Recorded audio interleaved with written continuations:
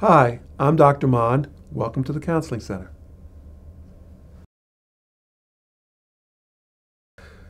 Counseling Center services are available to all Peabody, nursing, and Homewood students.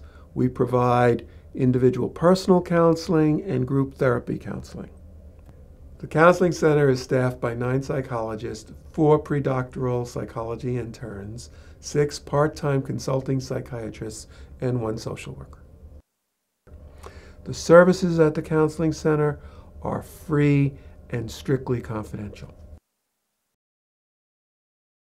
It's important to remember that a student can come to the Counseling Center for a whole variety of issues. If you come to the Counseling Center, it doesn't mean that you're mentally ill.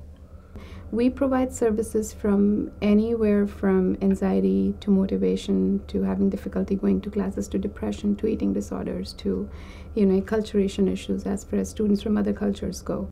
However, uh, kind of at the opposite end of the spectrum, we see a lot of students who are really just having some difficulties adjusting.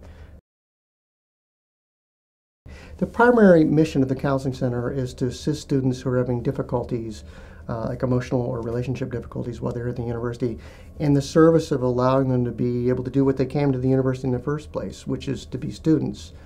We are a group of compassionate people here who are trained in the field to kind of listen to their concerns and provide like a non-judgmental way of, you know, uh, giving them advice or kind of helping them transition through their life's difficulties.